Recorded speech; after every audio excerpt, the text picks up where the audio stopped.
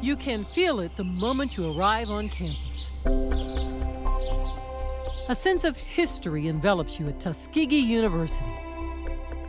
It's a private, historically black institution with a student population of more than 2,000 in the small rural town of Tuskegee, Alabama.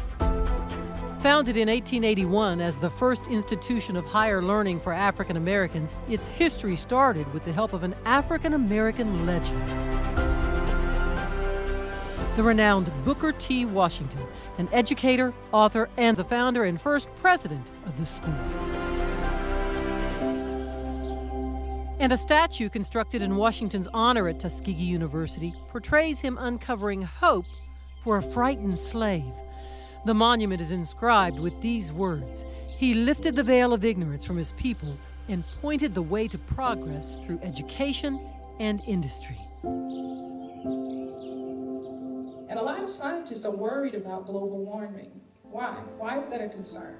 And today, that progress in education and industry continues, extending to a critical and flourishing field of study at Tuskegee University a degree in green careers in the College of Agriculture, Environment, and Nutrition Sciences.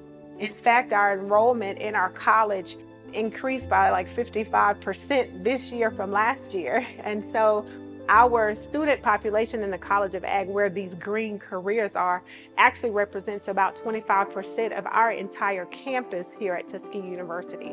And increasingly, we see that our young people are really passionate about the environment and sustainability and how the things we do today will impact our future world. Tuskegee University Dean Dr. Olga Bolden Tiller helps prepare students for careers that can protect our environment, our planet, and our future. They are taking to the fields of the university's acres of farmland to learn about sustainable agriculture methods. So once it picks up the specific tool, it's going to move to the specific location. They are using high tech and robotic precision farming methods to better capture plant information, improve soil health, and identify resilient plants that can adapt to climate change. And they are learning about a sustainable livestock production system that can minimize their impact on the environment. The growth of green jobs nationwide is fueled in part by the need to combat climate change, as scientists sound the alarm about the mounting threat climate change presents due to global warming.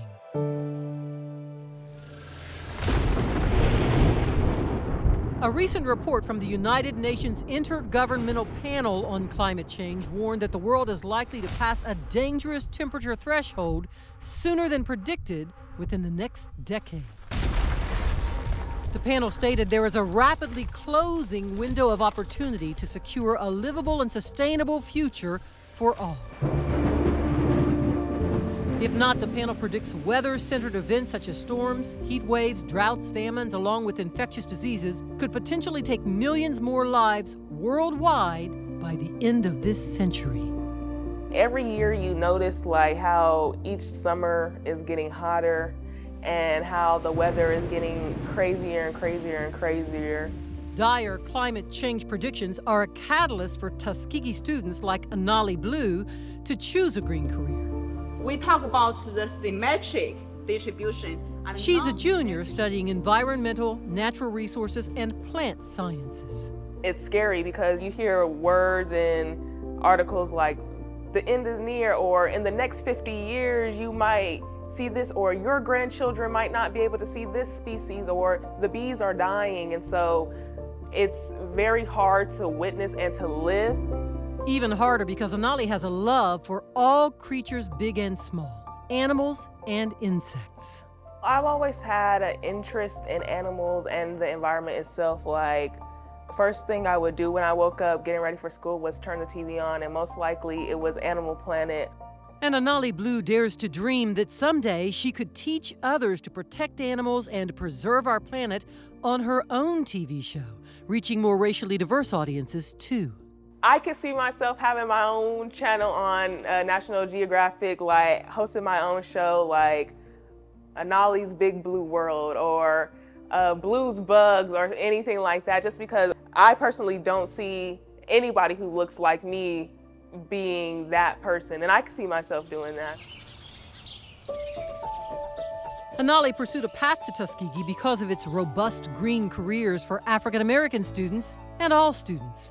The university reports it has educated 70% of our nation's black veterinarians. In natural resources, we rank in the top 10 in any given year, and some years higher than that, even in the top five, with the number of students who graduate with degrees in natural resources that are minority students and African Americans specifically. With some of Anali's studies in natural resources, sunlight, air, and water are natural magnets for her. She has an unbridled passion for nature and soaking up its beauty. And Anali has a sweet spot for a lake near campus where she pulls on her boots and prepares to wade in the water. On this day, she will be capturing and releasing minnows or keeping them as pets. But Anali's heart hurts because of the way people sometimes mistreat animals and our environment. We're already at a point in time where we're scrambling and we're already trying to save what is dying because humans have done a lot of damage that caused many species of animals to go extinct or nearly extinct. So it's very sad to me that okay, after something has been almost killed off, that's when you finally see its importance. But it's here for a reason, so it should already be handled with that importance. We probably need to call a meeting with the two of them. And Dr. Bolden Tiller has concerns about studies that show climate change and environmental hazards such as air pollution disproportionately impact the health of African Americans and their children. For years, you have seen minorities talk about in their communities, they have issues with environmental justice, um, with dumping, not having proper sanitation, not getting the same resources that other areas get. And the reality is, it's a reality. Dr. Bolden Tiller says many black students who witness the injustices have culturally relevant reasons to help right some of the wrongs by pursuing green careers not only through policy, but as a scientist, how do I go into a space where there may be some environmental runoff or dumping, and how can I utilize my scientific knowledge to help mitigate these things? Those students include Tuskegee graduates in green careers like Zipporah Sowell, who are entering the workforce. Zipporah graduated in the spring of 2023, and she's a young woman on the move and on a mission in Peoria, Illinois. You need people who are passionate about this career, about this field, because that's where you're going to get real results. Zipporah moved here after completing a Bachelor of Science degree in plant and soil science at Tuskegee University. We have to be able to sustain this planet for the future generations that are coming after us my kids that are coming. I hope, you know, when I do have kids that they're growing up in a planet that is green and that is healthy. And so um, I'm a part of that work. Zipporah works for the United States Department of Agriculture in Peoria, and she's currently involved in research on pathogens that cause disease in crops. Her focus is on sustainable agriculture, which includes protecting our crops and soil, some reportedly damaged by pathogens, pests, and chemicals, and some by climate change. It has a domino effect. So, if we do not have healthy soil, we don't have healthy plants, we will not have healthy people, leading to an unhealthy planet. Sustainable agriculture is looking at okay, how can we practice agriculture in a way that is favorable for us, right? But it's also favorable for our environment because once the environment and the natural resources are depleted, we're in trouble. What are we going to do? Zipporah's career track fulfills and energizes her. But she admits, as a first generation college student, some of her friends and family didn't understand her interest in an agriculture major. Due to a lack of awareness, people were like, What are you going to do with that? And how are you going to make money with that? And why would you want to do that? Only 3% of African American college students study agriculture, according to a Georgetown University study. But Zipporah found inspiration for her career at Tuskegee University in George Washington Carver. The legendary agriculture scientist, inventor, and teacher, born a slave, taught at Tuskegee in its early days. It was inspiring to be in the presence of his energy and, you know, knowing that he did so much work there, but also he gave back to his community. The innovations that he developed helped farmers in the South economically. And like Carver, as Zipporah reflects on her future, she says she too will be serving farmers.